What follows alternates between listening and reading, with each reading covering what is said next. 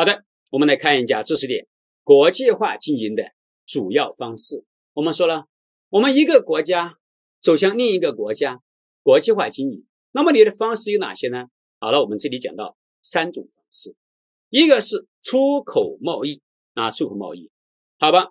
那么出口贸易呢，首先是我们这里面有三个问题啊，一个是出口贸易当中的目标市场选择，你出口到哪里，对不对？那么出口到哪里呢？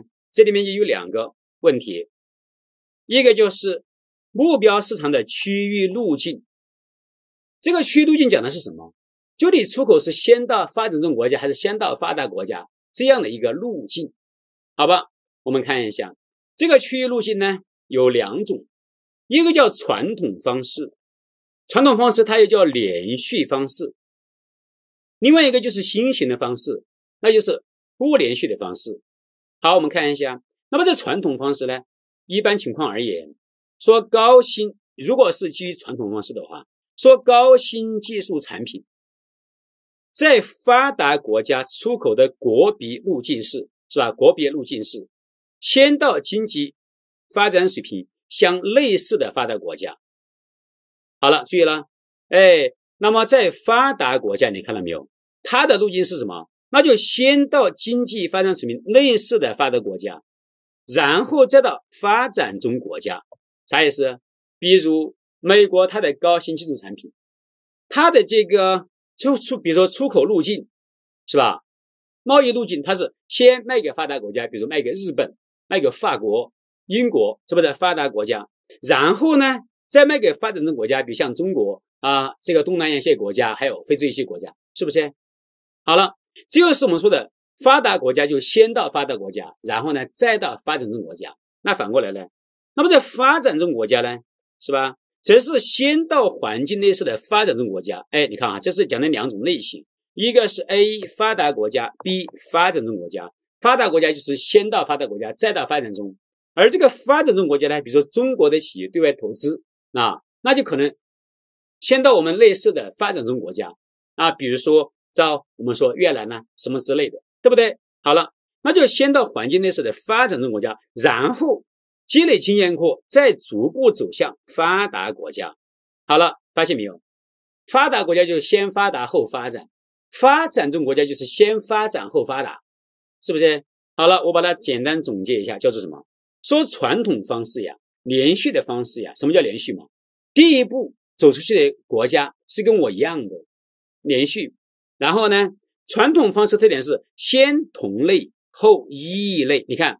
发达国家先到它的同类发达国家，再到异类发展中国家；发展中国家先到它的同类发展中国家，再到它的异类发达国家，对不对？我把它简称为叫做先同类后异类啊。但是呢有例外，什么例外？发展中国家的农产品是吧？农产品、矿产品这些初级产品是吧？还有劳动密集型的产品，就是需要大量人力的，比如说农业嘛。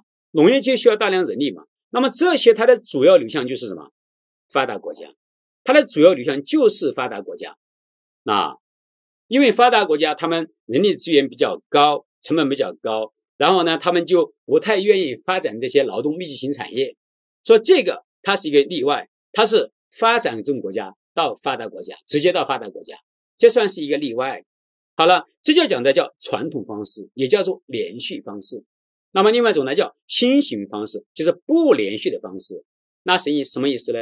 你看啊，说在经济全球化背景下，许多产业中的全球分工体系已经形成，全球同步使用新产品。此时，不论发达国家还是发展中国家，该产业中的高新技术产品出口的国别路径是，是吧？都是先发达国家，然后占领世界市场，然后再走向发展中国家。啥意思？就是说，前面讲的是发达国家就先发达后发展，发展中国家是先发展后发达。但是我们这里呢，无论是发达还是发展，他们都一样，怎么一样？都是先到发达国家，再走向发展中国家。好了，这是讲的叫不连续的方式，新型方式。我们举个例子哈，比如你们发现没有？比如说华为。华为是我们的国，我们国家的企业，我们国家是发展中国家。那么华为你发现没有？它的产品发布往往在哪里发布？它的新产品发布很多时候不是在国内发布，它以前经常都在，比如说法国去发布它的新产品，在英国发布它的新产品，知道吗？这有什么讲的？虽然说我们是发展中国家，但是我们的产品还是要先从发达国家开始，对不对？好了，你看，当然发达国家也是如此。所以说，无论发达还是发展，都是先发达国家再发展中国家。好了，所以说。新型方式的特点就是说，先发达国家再向发展中国家，而且无论这个企业是发达国家的企业还是发展中国家企业，不区分身份是一样的。也就是说，全球企业都是一个路子，先发达后发展。前面讲的这个传统呢，就是哎，分两类企业路径不一样，分清楚了吧？好，那么第二个呢，我们前面讲的是到哪里去呢？先发达还是先发展啊？好了，接下来第二步是选择目标客户，是吧？那么选择好了国家过后，前面讲的是国别路径嘛，走到哪个国家去，然后才是我们具体的目标客户。那么目标客户的选择呢，那就要基于市场细分。好了，我跟你讲，这里讲的市场细分跟我们在第三节是吧？讲那个市场营销战略是吧？哎。好了，跟讲市场营销战略里面讲的市场细分原理是一样的，什么人口细分、地理细分，对不对？那等等之类的。好，那么我们说目标市场选择呀，那我们说我们到哪一个国家，还有这个客户选择，我们讲它，我们现在讲的是出口贸易嘛，它不仅适用于出口贸易，我们后面要讲的对外直接投资、非股权安排。那么也同样面临这样的选择，就是我们说出口贸易，你要选择目标客户，要选择我们的这个目标市场。我们这个直接对外直接投资，你还是要选择目标市场、目标客户。哪怕你是股权非股权安排，你也会选择目标市场、目标客户，是一样的。有这前面讲的这两个问题啊，它不仅仅针对我们的这个出口贸易，这点大家要注意。好了，第二个呢，我们如果说。选择了国家和客户目标客户过后，那么第二问题就要想，我们怎样卖出去啊？是不是？选择分销渠道与出口营销，是不是？这讲的是我们出口怎么去出口的问题，是吧？哎，我们怎样把我们这个什么呢？产品卖出去，是吧？通过怎样的渠道卖出去？这是我们讲的第二问题，选择分销渠道。与出口营销，好了，我们说连接某国生产者、某国生产者与他国消费者的分销渠道有以下四个十分重要的特征，就是说，比如中国企业，那么到巴西，是吧？那么去出口到巴西，那么我们中国的生产者企业卖给巴西的消费者，我们的渠道通过这个国际贸易，那么这种渠道有什么特征呢？它有四个十分重要的特征，这个呢注意了解。大家注意了，前面这个知识点呢，我们还给大家是吧标了个一星，说明什么？说明这个还是比较重要的，曾经考过的。那么第二个知识点就是怎么卖出去的问题。那么选择分销渠道出口营销，这个呢以前是没怎么考过，大家做一个了解是吧？这个没考过的，这个历史上印象当中是没考的，历史上零分，了解一下吧。说。首先，一般来讲啊，国际分销渠道，你比如说你从中国卖到巴西，那国际分销渠道比国内渠道肯定更复杂，是吧？这边要出关，那边要入关，海上要托运，是吧？对不对？甚至还要转运。那么这个时候涉及的中间环节很多，哪像国内嘛？我们重庆人迈向北京，一车就过去了，畅通无阻，给点路费就解决，是吧？对不对？哪像我们这个中国迈向巴西呢，那就麻烦多了。所以更复杂，中间环节更多。也正因为如此，国际分销渠道的成本是吧？成本往往比较高，对不对？比国内分销渠道高。当然了，原因是什么？哎，我们这个中间环节多，这个渠道比较复杂，那当然成本就高喽。因为一，所以二。第三，出口商有时必须通过国内市场不同的分销渠道向海外市场进行销售。对，我们国内是吧？国内市场我的渠道可能是国内的经销商，但是并不是国内经销商他都能出口的，对不对？你看我们具有什么？就专门的贸易出口贸易公司，专门的国际公司。所以说，我们必须要通过与国内市场不同的分销渠道，像那些专业的贸易公司、国际贸易公司，是不是？专门的这个出口贸易公司，那么去进行销售。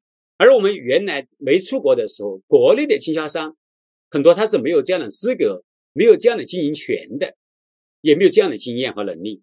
第四呢，国际分销渠道通常为公司提供海外信息。对我们中国产品迈向巴西，那么这些经销商他就要提供我们海外市场信息，我们产品在巴西卖的怎么样？巴西消费者对我们有什么诉求？对我们产品有什么评价？对不对？好了，那么你看，包括在市场上销售的情况和原因，卖的好或者不好，好的原因是什么？不好的原因又是什么？对不对？那么这个我们国际分销渠道，它会给我们公司提供这样的信息，这有利于我们改进产品，也有利于有利于我们改进管理，再后来增强竞争优势。好。这个知识点，我们说了，呃，因为不怎么考吧，了解一下也不难。好了，第三呢，出口贸易定价。好了，那么出口贸易定价呢，我们主要这里讲的主要是针对海外市场的一种，一般有四种定价策略。好了，大家注意，这个定价策略呀，大家还记得我们在第三节是吧？哎，第三节讲市场营销战略时候讲到了一个什么？这个。产品价格策略吗？对不对？好了，我跟你说，我们这里讲的国际贸易的定价，跟第三节讲的价格策略是有很多高度趋同的地方，有很多的相似之处。我们看一下，说怎么定价？一定价偏高，是吧？定价偏高。那么这个定价偏高，就以其为了目的是什么？卖高价嘛，以其获得大于国内市场的收益。我前段时间看到我们国家的新能源轿车。是吧？在欧洲卖价就比国内高很多。好了，说一到一个国家出口到一个国家定价偏高，我们在前面讲那个价格策略时，是不是讲到一种什么撇子战略？对不对啊？撇子策略，撇子的价格策略是吧？啥意思？一开始定一个高价，尽可能在一开始就实现盈利，对不对？好了，第二个呢，制定使海外市场。与国内市场水平接近的是吧？水平接近的，一般来说，如果你的产品是比较什么？如果你的产品是比较标准化的，是吧？如果产品是比较标准化的，那那你只能采用这个与国内差不多水平的价格。你要定高了，你在国外就没市场。好，然后呢？第三是在短期内定价较低，即使收益偏低，甚至亏损也在所不惜。那么你说？我们这样做的目的是为了为了什么？是为了获得更大的市场份额，是吧？哎，是为了提升公司的市场份额，好吧？大家知道吧？我们以获得市场份额而制定低价，我们有一种叫什么？叫渗透，是吧？哎，叫前面讲那个价格策略，就要是市场渗透的，是吧？策略，价格策略当中有一个市场渗透策略了。市场渗透就是通过低价渗透人家的市场，目的是为了获得更大的市场份额，对不对？好了，我们说了哈，这些呢，我们可以联系一下，它毕竟都是价格策略嘛，它们一定有相似之处的。好了，第四呢，只要在抵消变动成本之后还能增加利润，那就按照能把超过国内市场需求量的产品销售出去的价格来定价。这什么意思？我告诉你。抵消变动成本之后就能增加利润，一定是基于什么？基于这个公司是在利用闲置产能，知道吗？这是公司在利用闲置产能，就按照能把超过国内市场需求的产品，也就是我们国内比如只能卖三万件，但是我的产能我有五万件，那现在如果说我再生产一万件是出口，好，你也发现没有？产能五万。国内需求三万，那么我们就闲置产能两万，而我现在再来生产一万，还在闲置产能之内。但是这一万呢，我不放在国内，那就放到国外去。哎，这就是讲的，把超过国内市场需求，就超过三万的那一万呢销售出去。哎，那么这个时候，我们由于是利用闲置产能，你只要能够超过变动成本，那就能够增加利润。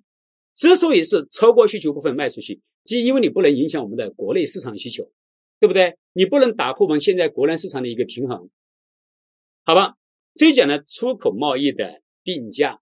那么关于出口贸易呢，我们就掌握这样三个问题。在考试当中，从以前来看，主要是我们前面讲的这个，第一个，我们的这个路径，对不对啊？是这个连续式的，还是不连续式的？是传统的还是新型的？主要是那个知识点，在以前考的相对要多一点。好了，那么第二个呢，就是对外直接投资。哎，注意了哦，出口贸易是，比如我们中国企业出口贸易到巴西，那是生产厂家在中国。市场消费者在巴西，就是直接把我们产品运过去，那叫出口贸易。那么我们这个对外直接投资呢？说中国的产品在巴西有市场，那怎么办？那我们不是把产品运过去，而是直接过去建厂，对不对？哎，直接到巴西去建厂，好了，那叫做对外直接投资，对吧？好了，我们看一下，那么这个对外直接投资有些什么方式呢？一全资子公司，啥叫全资？学会计都知道，百分之百的持有嘛，对不对？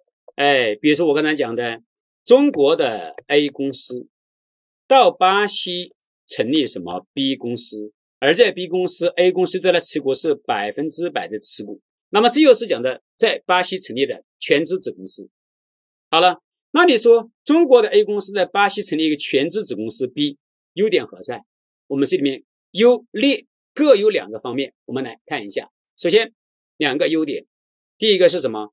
说管理者可以完全控制子公司在目标市场上的经营活动。对，因为是百分之百，所以说可以完全控制子公司。你必须听我的呀，对不对？我让你怎么做，你怎么做。因此，完全控制子公司在目标市场上的经营活动。那所谓子公司就是 B，在目标市场巴西。是吧？哎，他的经营活动，他在听我们中国的 A 公司的母公司的。好了，这是一个。第二个，可以避免合资经营各方在利益目标上的冲突，从而使国外子公司的经营呢，这个国外子公司 B 与企业 A 的总体战略融为一体，因为他完全听我的嘛，我说怎么做就怎么做。因此，我们这个 B 啊，巴西子公司，它的经营战略就跟 A 总公司的总体战略是一致的。好，那你发现呢？它为什么能够避免经营各方呢？如果说这个 B 公司、A 公司只持有百分之呃五十或者六十，还有百分之几十在巴西本国的其他企业手中，那你发现呢？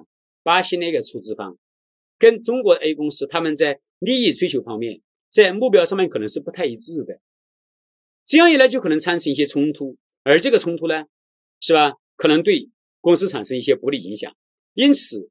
独自经营就能避免这种情况，这个道理很简单。那么第二个呢？两个缺陷。那你看啊，第一个是两种方式可能消耗大量的资金。哎，你比如说，如果我们在 B 公司需要投资十个亿，是吧？那我们 A 公司你就要掏出十个亿成立这个 B 公司，需要大量资金。然后呢，公司必须在内部筹集资金，就是说我要用我们的留存收益内部筹集嘛。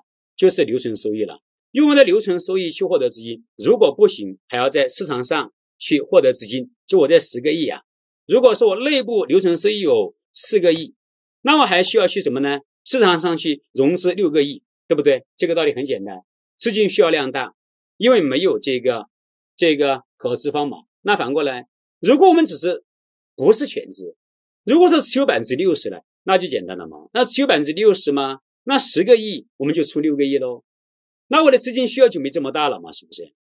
第二，由于没有东道国企业的参与，所谓东道国什么意思？巴西啊，刚才举的例子，由于没有巴西企业的合作与参与，那么全资子公司 B 就巴西子公司 B 就难以得到当地政策和各种经营资源的支持。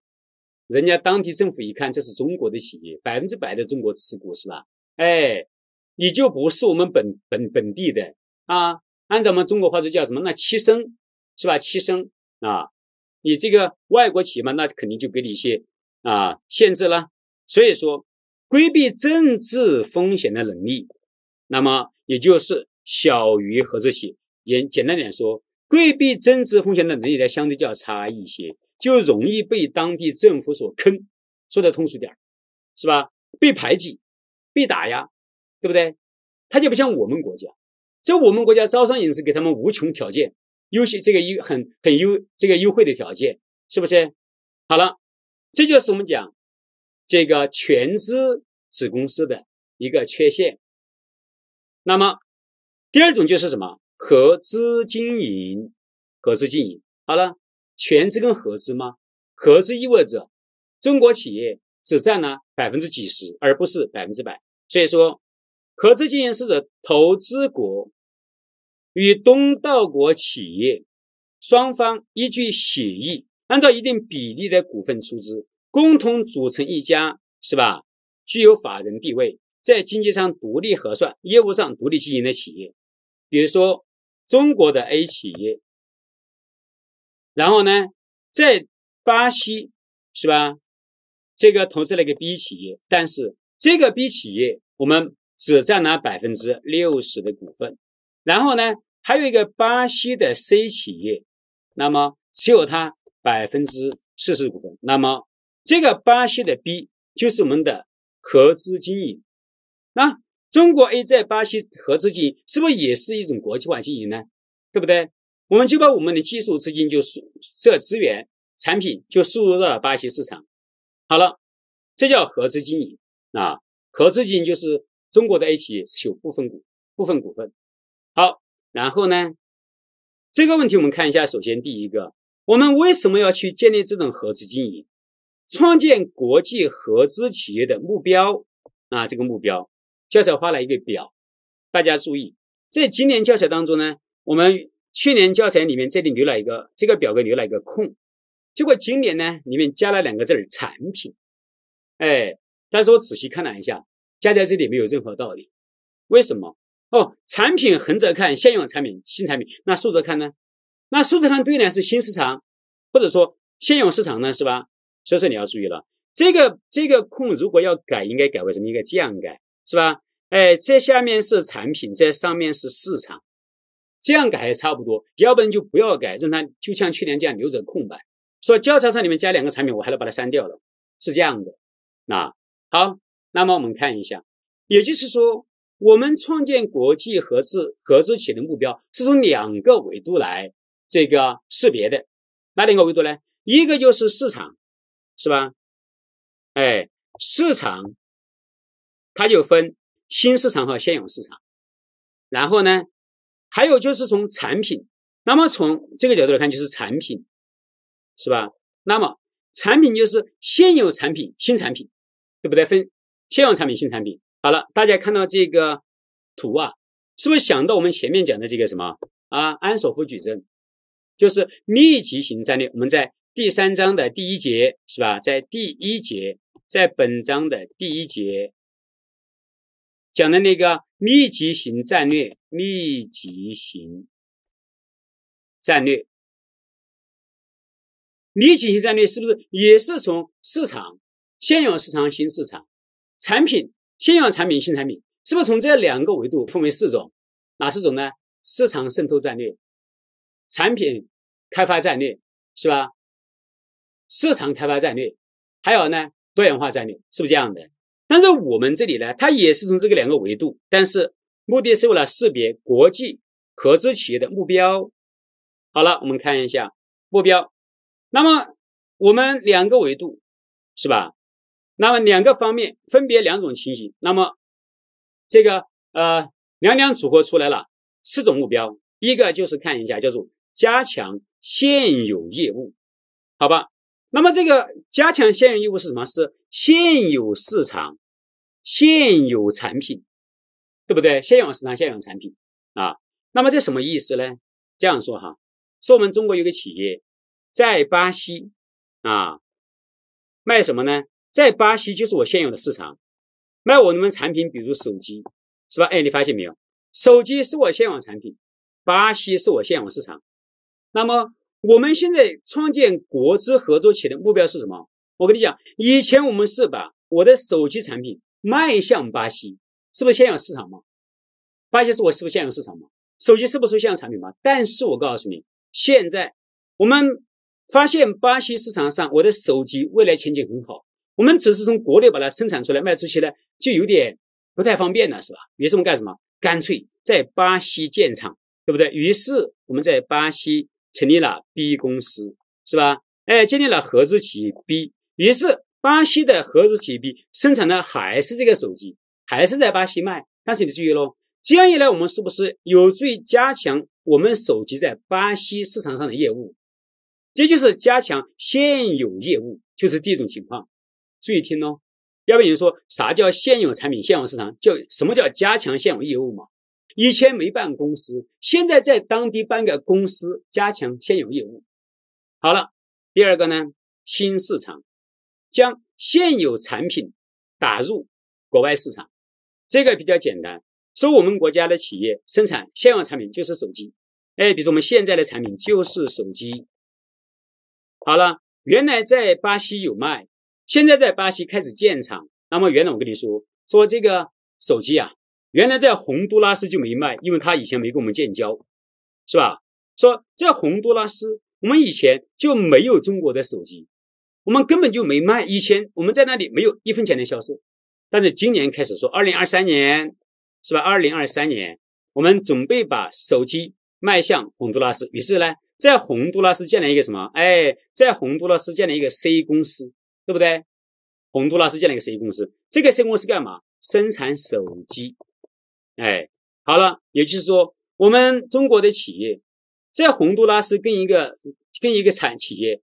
成立了一个合资企业 C，这个 C 就生产我们的手机，生产我们的手机，哎，这叫做现有产品新市场，是不是把现有产品打入国外市场，对不对？好了，那么第三是新产品是吧？新市场，这里注意了啊，我们这个中国的企业 A 是吧，就是生产手机的，那么现在呢，说二零二三年我们中国这个企这个生产手机的企业啊。现在准备什么？准备生产洗衣机，是吧？比如生产洗衣机。好，这就是新产品呢。那么生产洗衣机怎么生产呢？是我们发现了哈，哎，说洪都拉斯我们建交了啊，我们要加大对它的投入。于是我们在洪都拉斯建立一个第一企业，这个合资第一企业呢，那么就是干嘛？就生产洗衣机，生产我们的洗衣机，然后在洪都拉斯卖。你发现没有？这是不是在新的市场洪都拉斯生产我们企业的新产品洗衣机，对不对？然后呢，只不过怎么生产呢？是在洪都拉斯建厂 B，然后跟洪都拉斯的这个企业建立一个 B 公司。好，然后呢，大家注意了，这里最不好理解的是将国外产品投入国内市场。好了，这是现有市场新产品。好注意了哈，我告诉你，说我们呢，原来是不是在巴西？我们生产手机现有产品，我们原来在什么呢？是吧？在巴西就生产手机，因此你要知道，我们在巴西是我们的市场，知道吗？巴西是我们的市场，以前就在卖我们的手机，现在我们怎么样呢？是我们这样在巴西成立一个合资企业一公司，这个一公司干嘛呢？不是生产手机的啊，而是。我们发现这个巴西有个产品挺好，是吧？哎，说那个巴西的这个松子儿啊，巴西的松子儿在国内需求很高，于是我们就在这个 A 企业啊，就在巴西建了一个一公司，干嘛呢？就生产这个松子儿，是吧？呃，零食嘛，干坚果，就生产松子。然后呢，这个企业不是生产我们手机了。好，你说我们对于 A 来说。以前生产手机，现在生产松子，是不是一个新产品？然后干嘛呢？然后把在巴西生产的新这个松子呢，进入到中国市场，进入中国市场。就是说，我们我们的路径是一开始在巴西卖我的手机，于是就是老就是我们说的现有市场、现有现有产品。但是后来在巴西混久了，发现巴西还有好东西呢。这个巴西松子不错，然后就把一个巴西松子，我们就干在巴西建了一个厂，合资。建完过就把松子进口到中国，是不是？这叫做将国外产品松子投入国内市场、中国市场，这是不是新产品现有市场，对不对？好了，这是我们讲的创建国际合资经营企业的目标。那么第二就是合资经营方式的优点。好了，那么这个合资经营方式有什么优点呢？一，可以减少国际化经营的资本投入。对呀，合资嘛，刚才说了，如果我们中国的 A 是吧，在巴西成立 B 是吧？巴西成立 B，但是同时还有巴西的 C 参与，我们百分之六十，他百分之四十。如果这个巴西子公司要投资十个亿的话，我们现在只出六个亿了，是不是减少了国际化经营的资本投入？如果你是全资子公司 B 的话，那就要出十个亿了。哎，这个优点不就前面讲啊？这个独资经营的一个缺点吗？好，然后呢？有利于弥补跨国公司跨国经验不足的缺陷，有利于吸引和利用东道国合资方。我们刚才说的这个 C，说巴西的 C 就是东道国合资方的资源，尤其是在当地的市场信誉。比如说，这个巴西的 C 公司在当地还口碑不错，啊，很有市场，经营能力很强，信誉、融资。说巴西 C 公司跟银行关系好，包括它有现成的销售渠道。跟银行、政府关系是吧？这个的公司关系啊，以及所需的生产技术等方面的技能，是吧？好了，而且你发现没有？这样的话，这是它的优点呢。哎，那么这样一来，是不是能够有很好的规避一些政治风险？为什么呢？如果巴西政府对这个 B 公司不满意，想打压，还得看一下里面有他自己一份儿。C 公司就是他巴西自己的公司嘛，对不对？这是他的优点，然后呢，创建国际合资经营企业呢也存在问题。问题是什么？说我们由于合资企业有多方参与，比如说中国的 A 和巴西的 C，是吧？刚才不是说成立了巴西的 B 吗？这两之间它是两个企业呀，那么这个协调成本可能有点大，他们之间在很多观念上可能不一样，对不对？这个协调成本大，主要表现在哪些方面呢？说协调问题主要表现在两个方面，一个是各方的目标，是吧？可能我们认为不应把盈利当成一个唯一的目标，还得考虑技术的合资啊等等。但是可能对方认为，那不管这么多，先赚钱第一目标，其他是之后的。所以在长远发展上可能就不一致。还有呢，文化也不一致。比如说中方认为有订单就要加班。巴西认为有订单也不能加班，你会发现这是一种文化差异，是吧？大家知道中国人是很勤奋的，这很多国家开的店，发现最晚关店的就是中国人的店，因为中国人很勤劳啊。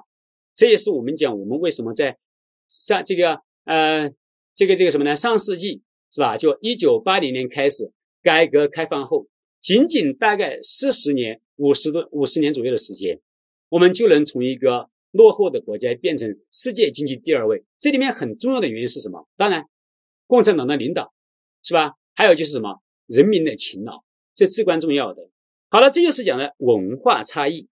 好，这里提醒大家一点，书上有提到说，发达国家之间建立的合资经营企业，它的这个失败率呀，是吧？高达百分之五十以上。你看，他们还算一伙的吧？发达国家之间，然后呢？发达国家跟发展中国家之间，哎呦，这两个本身就有点不门当户对，是吧？对不对？他们建立合作的话，失败率更高，是不是？再告诉你一点，我们前面说协调成本过大，这在现实当中是广泛存在的，这个是建立创建国际合资经营企业存在的问题。好的，那么国际化经营的主要方式之三就是非股权形式。好了，非股权形式呢？我们在考试当中吧，以前也是有所涉及的。那那么非股权形式的典型类型有哪些呢？就包括什么合约制造、什么服务外包、什么什么订单农业、特许经营、许可经营、管理合约、其他类型的合约关系。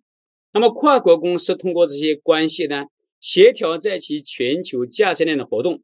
并影响东道国公司的经营管理，而并不拥有其股份。那说了半天，我们举个例子吧。什么叫非股权形式？你们知道？在我们这个，比如说，大家知道苹果公司是吧？苹果公司，苹果公司它一定是一个轻资产的企业。它什么叫轻资产呢？它就自己只负责搞研发，然后呢，做了研发过后呢，他就把他手机的相关零部件，那么标准提交给我们。比如说中国的公司，你会发现我们中国就有很多苹果的上游企业，我们把它叫苹果产业链企业，叫果链企业，对不对啊？我们把它叫做果链企业，就是苹果产业链，就是为为苹果做配套的。但你注意啊，这些公司并不是苹果的什么合资企业，或者说。控股子公司不是的，就是一个业务合作，叫做合约制造。说这样吧，我的这个摄像头标准是这样的，你能生产吗？能生产，我就把订单给你。啊，好了，然后呢，我的这个听筒，我的标准给你，你能生产吗？我就给你。你看我们国家什么歌尔声学，就是为苹果做听筒的，对不对？好了，那么这些就是非股权形式的合作，它也是国际化经营呢。显然，苹果公司。它在美国做研发，然后在全球化的生产，就是非股权形式的，对不对？这叫什么呢？这叫合约制造。那合约制造好了，这样一来，你发现呢？那么你拿到我的订单，就按照我的标准来生产。所以说，跨国公司，比如苹果公司，通过这些关系协协调其在全球前价值链的活动，影响东道国公司的管理。对我们那些苹果产业链企业，就得听从苹果的。安排，尤其是在技术上、生产质量管理上，也得听他的，是吧？好了，但是呢，并不拥有股份，这叫做非股权形式。我们就举这样一个例子，大家就能理解了，是不是？什么订单农业，啥意思？说发达国家对发展中国家说，反正呢，你的这个农副产品如果能达到我们的这个标准，比如说有机食品，你看那些发达国家的怎么就比较讲究了，要吃些高档的有机食品，好吧？那么有机，你只要能够通得过我的检验，达得到我的标准，你有多少我就给你要多少，这叫订单农业，是吧？定制生产。但是你说这些发展中国家的农业企业是它的子公司吗？不是，是它的这个控股公司吗？也不是，是不是？它没有股权，就是这样一种非股权形式的合作。那么那叫做非股权形式。好，那么在价值链当中。非股权形式呢，应该说是无论是从支持活动和它的基本活动都广泛存在。好了，我们前面讲这个价值链就讲到，我们把它分为这个什么四个支持五项基本活动是吧？四支五基是吧？好了，那我们看一下，我们前面讲的像什么呃企业服务支持流程、技术知识产权开发，其实这些都是什么？这些都是讲的支持活动。对不对？你看，内部物流、采购、运作、制造、外向物流、供销、销售、服务提供、销售、营销、售后服务，这讲的是什么？这些讲的这一串儿，这讲的是我们五项基本活动啊。好了，你会发现，在我们这次活动当中就有什么业务流程外包，这是属于我们前面讲的，是吧？非股权形式。还有呢，什么合约研发、合约设计。指定技术这个收这个收入，这都是属于我们讲的这个非股权形式嘛。好，你看采购内向物流这个这个内部物流当中，我们这里写的内向物流哈，其实有内部物流。那么就是什么订单农业采购中心，哎，这是不是前面讲到的合约制造？对呀。那还有一些什么制作你们合约制造这个指定技术授权是吧？售出，然后呢合约物流是吧？合约物流。然后这个特许经营等等，这些讲的都是非股权形式。好，那么这些呢，我们叫了解，在基本活动当中有哪些非股权形式啊？那你会发现呢，我们通过这些非股权形式的国际化经营，可以很大的延伸和强化我们的价值链。好，那么这些知识点在我们以前考试当中还主要是以客观题为主，我们看看，是吧？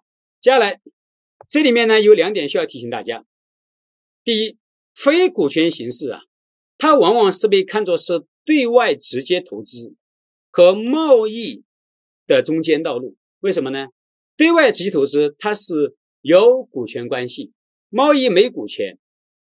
那么这个非股权呢，是吧？它介于二者之间，也就是说，贸易对对方你是没有什么控制控制力的，但是直接投资有控制力啦。而这个非股权形式，它没有股权，但是也有控制力，知道吗？我们刚才说了，苹果对苹果产业链的公司不就有控制力吗？对不对？好了，那么企业国际化经营首要的核心竞争力是什么？就是你在全球价值链中协调各项活动的能力。发现没有？苹果在整个果链企业当中，它的这个协调能力就超强，对不对？结果你发现这些。果链企业赚小钱，苹果公司赚大钱，因为什么？因为人家苹果公司具有这个协调各项活动的能力啊。换句话说，整个这些苹果生态当中的产业链上的企业都得听他的，对吧？好，我们来看看这一前考试的情况。这个知识点呢，考的不多，这几年尤其考的不多。大家看一下单选题：一九九九年，发展中国家埃蒙国。家电产品生产企业甲公司开始向外拓展市场，在发达国家优国建立生产厂。二零零四年，甲公司的家电产品生产开始全球布局。那么，甲公司国际化经营的战略途径是什么？那好了，我们首先这里面没有说的这个企业国际化阶段。那好了，我们有这个。连续是吧？传统非连续，当然了，我们讲的这个连续也就是传统。事实上，这是个单选题，你看出来哈，是吧？对不对？那如果这样来看的话，第一不存在，你要么选一选 A，就要选 B，他们是一样的。那显然这是单选题，不可能，那就只能选 C 了，是吧？当然，这是一个从答案布局来分布啊。我们还是看题吧。这里看发展中国家，对不对？那那么它的这个拓展怎么拓展？在发达国家建厂，是不是先发达国家，然后再全球布局，然后再走向发展中国家？这是不是先发达是吧？后发展？你看它本身作为发展中国家，对不对？那好了，那么发展中国家，你想想啊，如果是按照连续的传统方式的话，是先发展后发达，而这里没有，它是发展中国家，它是先发达。然后呢，后全球是不是？那么这就是讲的，无论它是发展还是非发展国家，它都都是这样的，那就属于什么非连连续方式，也就是我们说的什么叫新型方式，对不对？新型方式，无论发展中国家的还是发达国家的，都从发达国家开始，然后再向全球，啊，然后再向所谓向全球嘛，就是向发展中国家嘛。所以说，这个正确选项是 C，对不对？正确选项是 C，啊。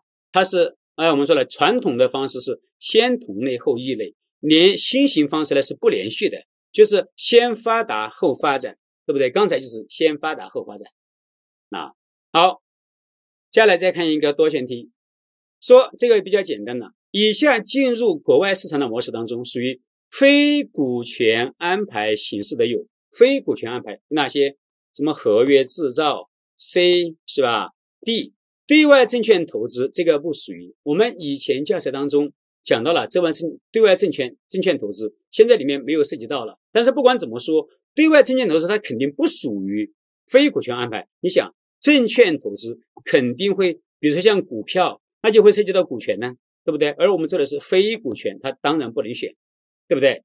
好了，这个合约制造特级基金外服务外包就是前面那些图里面的啊，讲的这些形式，大家有点印象。通常就能下手了。好，正确答案 A、C、D。